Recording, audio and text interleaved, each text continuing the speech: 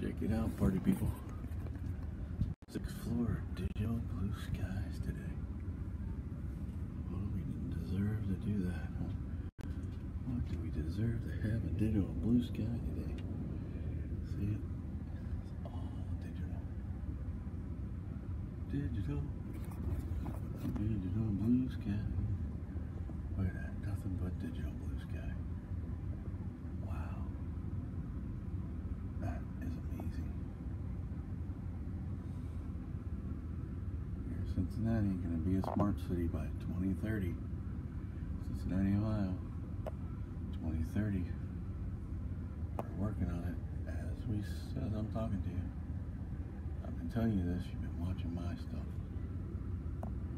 Until 2030. You better be safe out there.